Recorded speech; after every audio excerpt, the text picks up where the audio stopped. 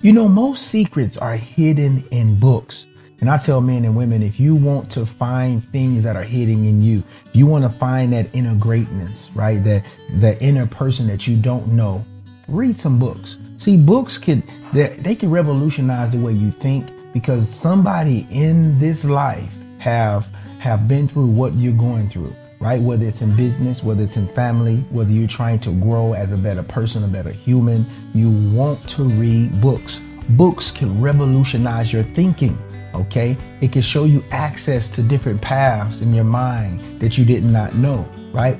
Um, there's no more excuses for it, right? Uh, many people, you don't, you know, you, you got audio books, right, that you can listen to.